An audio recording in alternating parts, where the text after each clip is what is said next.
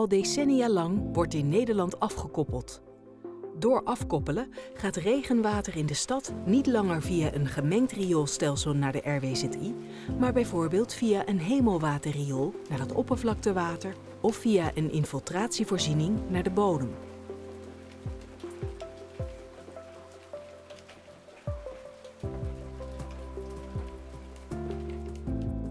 Kostenbesparing was bij de eerste projecten 20 jaar geleden vaak de aanleiding om af te gaan koppelen. De gedachte was dat minder water naar de zuivering en minder hoeven saneren van gemengde overstorten geld bespaart. Een ander argument was dat door afname van de piekbelasting de RWZI beter functioneert.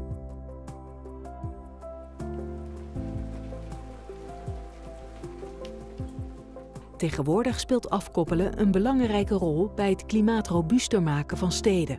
Sterk verstedelijkte gebieden hebben vaak te maken met wateroverlast bij veel regen, een slechte oppervlaktewaterkwaliteit en watertekorten bij droogte. Afkoppelen kan een deel van de oplossing zijn voor deze problemen.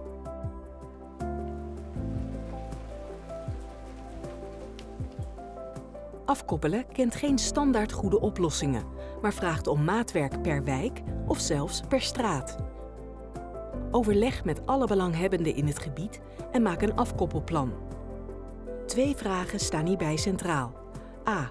Hoe is de huidige verwerking van regenwater in de wijk of straat waar je wilt afkoppelen? B. Wat zijn de mogelijke effecten en valkuilen van afkoppelen?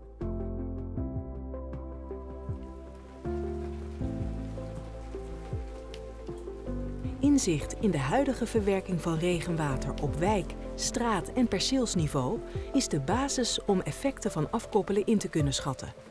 Zonder deze kennis kan je niet inschatten of de stedelijke waterhuishouding beter of slechter gaat functioneren door het afkoppelen.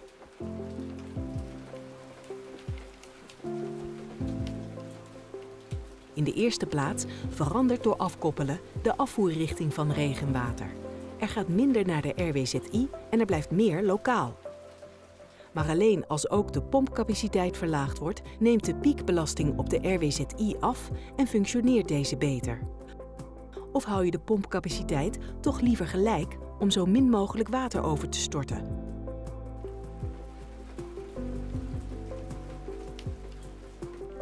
En het regenwater dat door afkoppelen in de wijk blijft, zorgt dat voor extra wateroverlast? Of helpt afkoppelen juist bij het tegengaan van wateroverlast?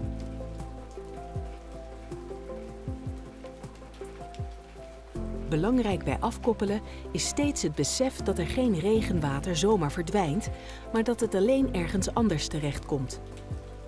Maar hebben het grondwatersysteem en het oppervlaktewatersysteem wel genoeg capaciteit om het extra regenwater te kunnen ontvangen? Ook de waterkwaliteit kan veranderen. De oppervlaktewaterkwaliteit is vaak gebaat bij extra regenwater. Maar geldt dat voor alle waterkwaliteitsproblemen?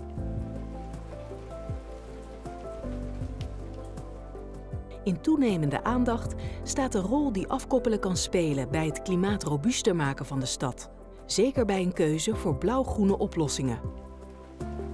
Zulke oplossingen kunnen bijdragen aan het vasthouden van regenwater in de stad om de gevolgen van langdurige droogte te bestrijden en om wateroverlast tegen te gaan. Het creëren van blauw-groene oplossingen in de stad kan, mits goed uitgevoerd, ook de kwaliteit van de leefomgeving flink verbeteren.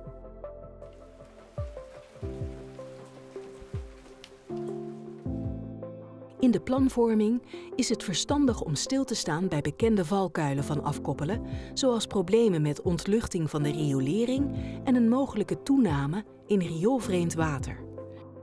Ten slotte is een inventarisatie van kosten en baten van het afkoppelen een belangrijk onderdeel van elk afkoppelplan.